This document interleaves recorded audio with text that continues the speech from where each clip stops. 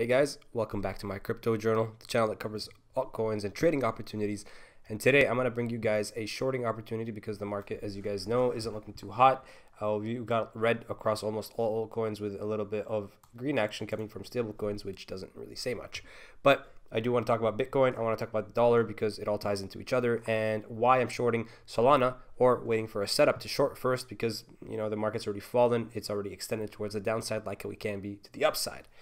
So I'm going to break all that down as we move along here. But before we get there, I do want to let you guys know I do have a free Discord group that you guys can join in. I engage with the community, share ideas, and we and we just have a good time in there. So if you guys are interested in that, make sure to join completely free. There's also a paid version which you guys can check out in the description down below, um, where you guys receive different kind of information. But I'm not gonna get too much into that. I want to focus on the video here. So with that said, guys, let's start off with Bitcoin. Whoops, you guys weren't meant to see that. Don't look at it, guys. Just uh, forget exists. Uh, Bitcoin. Bitcoin. What is Bitcoin doing? Well, we're currently bleeding.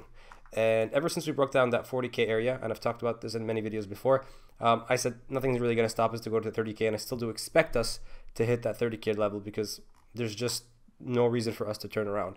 That can change if the price action does something different, but what I do expect to happen here is for Bitcoin to maybe come down to the 34k area before coming back up and bouncing to $40,000 because uh, we're a little overextended on the sell side and as people begin to short here the leverage shorts are going to start to stack up. I'm not sure if they are. I think they are a little bit.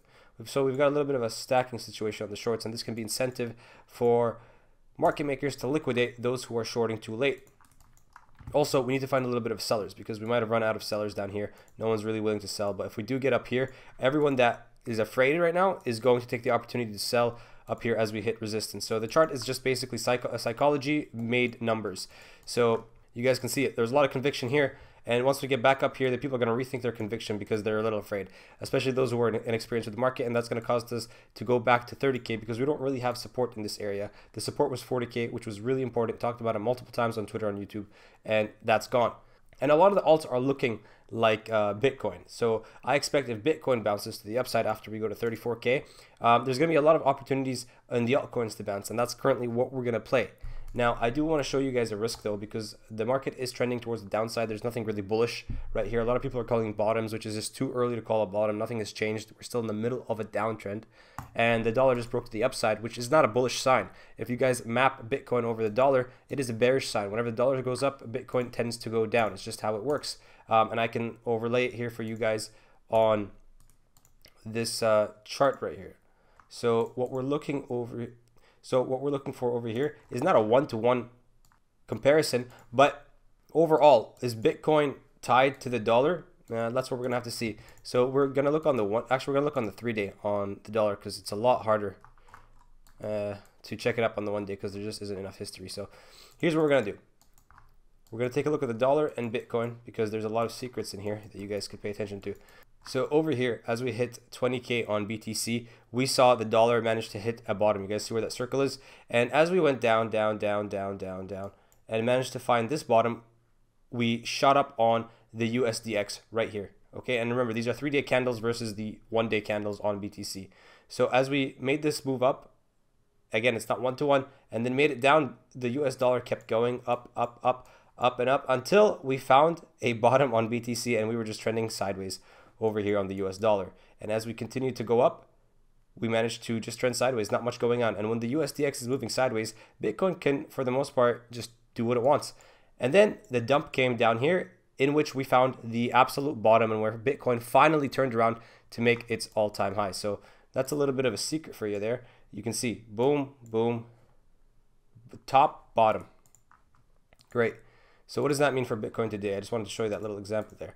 Okay, what does that mean? Well, the dollar's moving up, so you can expect a little bit more downside on BTC because we just, this doesn't show that it's stopping. And I remember, it's not one-to-one, -one, so eventually Bitcoin's going to have to react to this.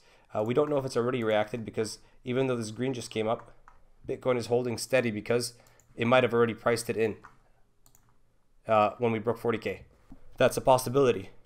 However, because Bitcoin is somewhat bearish right now, I'm not looking to go long on many altcoins, even though I do see a bounce happening. I'm just not interested in it. I'm more interested in going short. And let me show you guys why. Because this video uh, already, as you know, I know we've talked about Bitcoin a lot, is about Solana. uh, but Solana ties into BTC. As you guys know, altcoins are tied to BTC. So you guys can see I've got a little bit of a channel going down on here on Solana ever since we hit the top of 257 and slowly we've been on the downtrend and finally broke that $131 support and broke out of the trend line. So this means it's possibly overextended, but these things can overextend further and just keep dropping to the downside.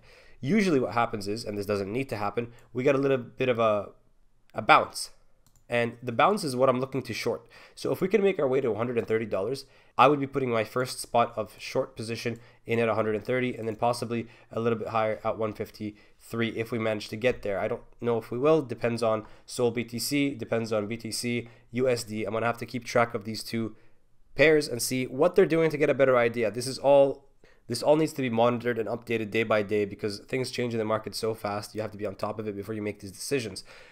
Which is to say, this is not financial advice. This is just some random guy on the internet sharing his thoughts with you guys because doing this alone is no fun. But, anyways, what we're looking for on Solana right now, as you guys can see, we're, we're just extended to the downside way too far. We're sitting on a tight, thin support. Uh, if this doesn't hold, I'm not surprised, but let me give you guys my thought process with this. This my thought process stems from a place of patience because I know we've already extended far down to the downside, and if I was going to short this, I should have done it as soon as we broke 129 and aimed for a 35% profit.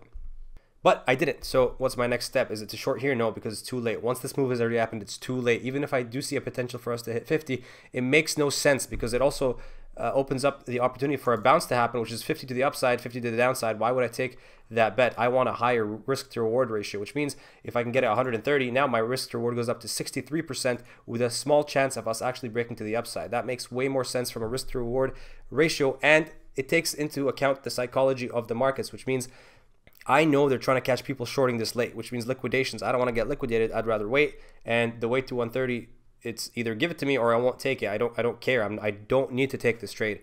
I will wait for the opportunity to come to me rather than chase the opportunity. Because if you go out looking for a trade, eventually you're going to find something you want to take just because you want to take a trade. It's a different way of approaching trading because, uh, believe it or not, trading is 99% psychology and like 1% TA. So with that in mind, what we're looking for here is a bounce. And once we get that bounce to 130, I'm to short it and see what happens. I'll have a tight stop loss uh, depending on the art, the risk reward that I see, and then we'll have to see BTC bleed to 30k for this to really work. But as I said earlier, we need the bounce first. So Sol BTC kind of looking like uh, Sol USD. We're sitting on not really support, so I could still see this falling a little bit more. I think this needs to be corrected. I also see an opportunity for a bounce here, so that all plays into um, the Sol USD T bouncing. I haven't checked the RSI or MACD, but I think I see divergence here. And let's see if we can confirm that. Uh, yes, look at that. We have divergence. Okay, so chance for a bounce happening here is good. And we're just going to wait, guys. That's a, that's a waiting game. Like I said, this, this changes day by day, so I'm going to have to update this. And if you guys want to stay on top of this trade, make sure to join the Discord because that's where I'll be updating you guys as well as Twitter from time to time. Discord is where I update the most, and then Twitter second, and then YouTube gets it last. So, like I said, if you guys want the most updated versions, you know what to do. With that said, if you enjoyed this video, hit the like button, hit the subscribe button. A lot of planning goes into these videos, so would appreciate some love. I will see you guys next week on Monday. Until then, stay safe and happy trading.